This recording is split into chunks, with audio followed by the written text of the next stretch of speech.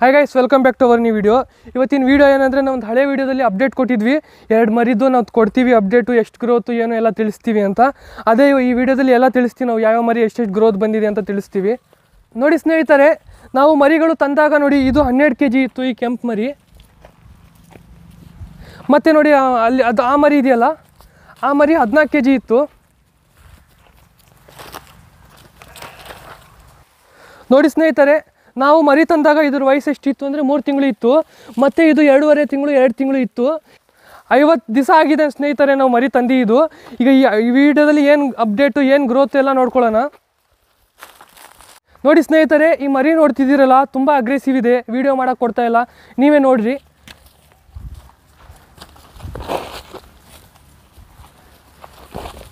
ನೋಡಿ ಫ್ರೆಂಡ್ಸ್ ಓಡೋಗಿತ್ತು ಮರಿ, ಈಗೆಲ್ಲ ವಾಪಸ್ ಬಂದವು. ನಮ್ಮ ನೋಡ್ಕೊಂಡು.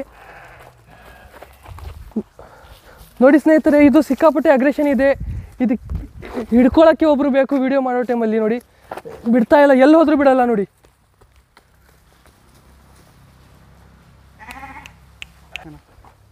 ನೋಡಿ ಫ್ರೆಂಡ್ಸ್ ಈಗ ಮರಿ ಬರ್ತಾ ಇದೆ ನೋಡಿ, ಬಂದು ಸೀದಾ ಗುದ್ದತ್ತೆ.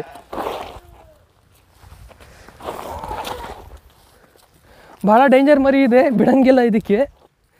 ಅದಕ್ಕೆ ನಾವು ತಿರ್ಗಾಡ್ಸಲ್ಲ ಈ ಮರಿಗೆ ಜಾಸ್ತಿ.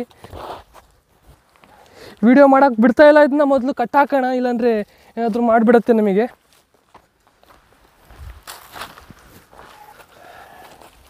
ನೋಡಿ ಸ್ನೇಹಿತರೆ, ಈ ಈ ಮರಿ ಇದೆಯಲ್ಲ ಬರೀ ಐವತ್ತು ದಿವಸದಲ್ಲಿ ತುಂಬ ಗ್ರೋತ್ ಕೊಟ್ಟಿದೆ. ಈ ವಿಡಿಯೋ ನೋಡಿ ನೀವೇ ಶಾಕ್ ಆಗ್ತೀರಾ, ಇಷ್ಟೆಲ್ಲ ಗ್ರೋತ್ ಆಗತ್ತಾ ಅಂತ.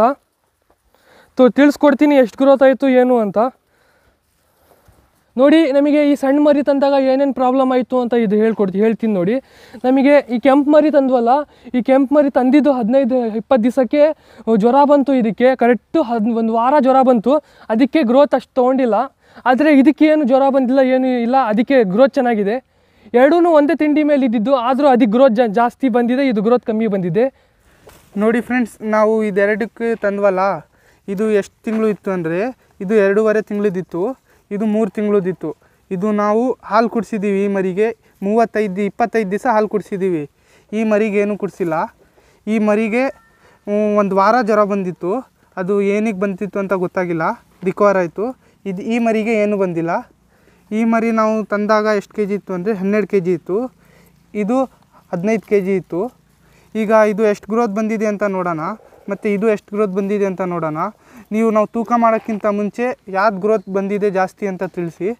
ಇದು ಈ ಮರಿ ಎಷ್ಟು ಕೆ ಜಿ ಇರ್ಬೋದು ಇವಾಗ ಅಂತ ತಿಳಿಸಿ. ವಿಡಿಯೋ ನೋಡೋಕ್ಕಿಂತ ಮುಂಚೆನೇ. ಮುಂದೆ. ಮತ್ತು ಸ್ನೇಹಿತರೆ, ಈ ಎರಡು ಮರಿಗೂ ನಾವು ಏನು ಮೇವು ಕೊಟ್ಟಿದ್ದೀವಿ ಅಂದರೆ ಕೈ ತಿಂಡಿ.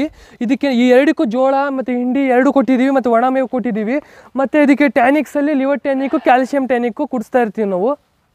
ಇದು ಇದೆರಡನ್ನು ಬಿಟ್ಟು ಮತ್ತು ನಾವು ಬೇರೆ ಏನು ಕುಡಿಸಿಲ್ಲ ಮತ್ತು ಬೇರೆ ಏನೂ ಹಾಕಿಲ್ಲ. ಇಷ್ಟರಲ್ಲೇ ಇಷ್ಟು ಗ್ರೋತ್ ಇರೋದು ನಮ್ಮದು ಈಗ ಮರಿ ತೂಕ ಮಾಡಿ ಎಷ್ಟು ಗ್ರೋತ್ ಇದೆ, ಏನು ಡೆವಲಪ್ಮೆಂಟು ಏನು ನೋಡೋಣ. ಫಸ್ಟು ಈ ಕರಿ ಮರಿಯಿಂದ ಸ್ಟಾರ್ಟ್ ಮಾಡೋಣ ಸ್ನೇಹಿತರೆ. ನೋಡಿ ಫ್ರೆಂಡ್ಸ್ ಈಗ ತೂಕ ಮಾಡ್ತಾ ಇದ್ದೀವಿ ನೋಡಿ ಫ್ರೆಂಡ್ಸ್ ತೂಕ ಮಾಡ್ತಾ ಇದ್ದೀವಿ ನೋಡಿ ಎಷ್ಟು ಕೆ ಜಿ ಇದೆ ಅಂತ ನೋಡೋಣ.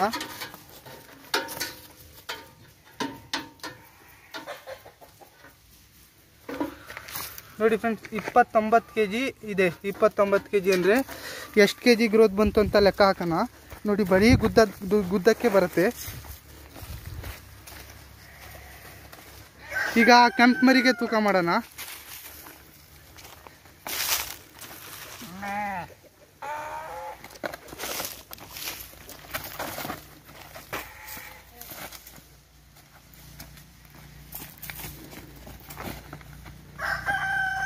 ನೋಡಿ ಫ್ರೆಂಡ್ಸ್ ಇದು ಫೈಟರ್ ಕುರಿ ಹಿಡ್ಕೊಂಡು ಬಂದಂಗೆ ಹಿಡ್ಕೊಂಡು ಬರ್ಬೇಕು ಆ ಮರಿಗೆ. ಬರೀ ಗುದ್ದಾಡೋದೆ. ನೋಡಿ ಈ ಈ ಮರಿ ತುಂಬ ಸೈಲೆಂಟು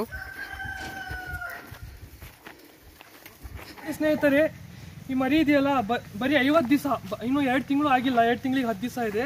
ಅಷ್ಟರಲ್ಲೇ ನಮಗೆ ಹದಿನಾಲ್ಕು ಕೆ ಜಿ ರಿಸಲ್ಟ್ ಸಿಕ್ಕಿದೆ ತಿಂಗಳಿಗೆ ಏಳು ಕೆ ಜಿ ರಿಸಲ್ಟ್ ಸಿಗ್ತಾ ಇದೆ. ಇನ್ನೂ ಅದರಲ್ಲಿ ಹತ್ತು ದಿವಸ ಇದೆ ತಿಂಗಳು ಲೆಕ್ಕಾಚಾರದಲ್ಲಿ. ನೋಡಿ ಮರಿ ತುಂಬ ಗ್ರೋತ್ ಆಗಿದೆ. ಈ ಮರಿ ನಮಗೆ ಇನ್ನೂ ಎರಡು ತಿಂಗಳು ತುಂಬಕ್ಕೆ ಇನ್ನೂ ಹತ್ತು ದಿವಸ ಇದೆ. ಇನ್ನು ಹತ್ತು ದಿವಸದಲ್ಲಿ ಎರಡು ಮೂರು ಕೆ ಜಿ ಗ್ರೋತ್ ಆಗುತ್ತೆ. ಈಗ ಈ ಮರಿ ತೂಕ ಮಾಡೋಣ. ಮೂರು ತಿಂಗಳು ಮರಿ ತಂದು ಸಾಕ್ಬೋದು. ಈ ಪ್ಲ್ಯಾನ್ ಸಕ್ಸಸ್ ಆಗಿದೆ. ಮೂರು ತಿಂಗಳು ಮರಿ ತಂದು ಸಾಕ್ಬೋದು. ಈಗ ಈ ಎರಡೂವರೆ ತಿಂಗಳದ ಮರಿ ತಂದು ನೋಡೋಣ. ಈ ಎರಡೂವರೆ ತಿಂಗಳು ಮರಿ ಗ್ರೋತ್ ಹೆಂಗಾಗಿದೆ ಅಂತ. ಈ ಮರಿನ ತೂಕ ಮಾಡೋಣ.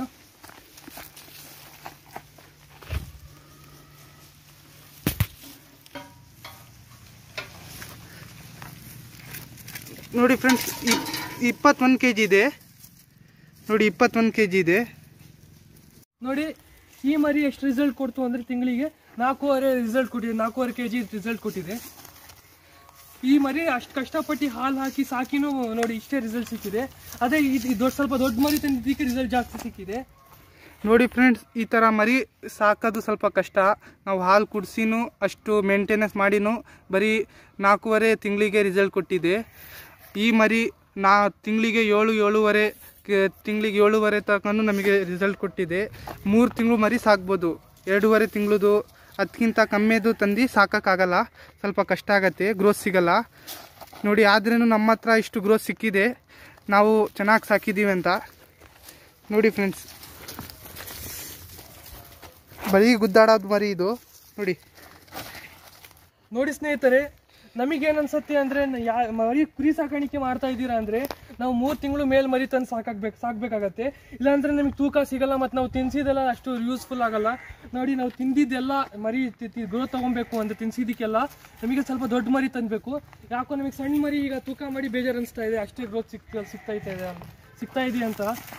ನೋಡಿ ಫ್ರೆಂಡ್ಸ್ ನಮಗೆ ಎಷ್ಟು ನಮಗೆ ಅನ್ಸುತ್ತೆ ತಿಂಗಳಿಗೆ ಎಷ್ಟು ತೂಕ ಸಿಗಬೇಕು ಅಂದರೆ ಐದು ಕೆ ಜಿ ಮಿನಿಮಮ್ ಐದು ಕೆ ಜಿ ಸಿಕ್ಕಿದ್ರು ತುಂಬ ಚೆನ್ನಾಗಿ ರಿಸಲ್ಟ್ ಅದು. ಏಳು ಕೆ ಜಿ ಸಿಗ್ತಾ ಇದೆ ಅಂದರೆ ಇನ್ನೂ ಒಳ್ಳೆ ರಿಸಲ್ಟು ಕಮ್ಮಿ ಕಮ್ಮಿ ಅಂದ್ರೂ ಐದು ಕೆ ಜಿ ರಿಸಲ್ಟ್ ಸಿಗಬೇಕು ತಿಂಗಳ ತಿಂಗಳ. ಮರಿ ಇದ್ದಾಗ ಮಾತ್ರ. ಅದೇ ಸ್ವಲ್ಪ ದೊಡ್ಡದಾದ್ಮೇಲೆ ನಲವತ್ತು ಕೆ ಜಿ ದಾಟ್ತು ಅಂದರೆ ನಿಮಗೆ ನಾಲ್ಕು ಕೆ ಜಿ ಸಾಕು ರಿಸಲ್ಟು ನೋಡಿ ಸ್ನೇಹಿತರೆ, ನಾ ನಮಗೆ ಅನ್ಸೋದು ಅದೇ ನಾವು ಹತ್ರ ಇಪ್ಪತ್ತು, ಮೂವತ್ತು ಮರಿ ತಂದು ಸಾಕ್ತಿದ್ರೆ ನಮಗೆ ಅಷ್ಟು ರಿಸಲ್ಟ್ ಸಿಗ್ತಿರಲಿಲ್ಲ ಮತ್ತು ನಮ್ಮ ಮೋರ್ಟಲಿಟಿ ಆಗೋದೆಲ್ಲ ಸಮಸ್ಯೆ ಇರ್ತಿತ್ತು.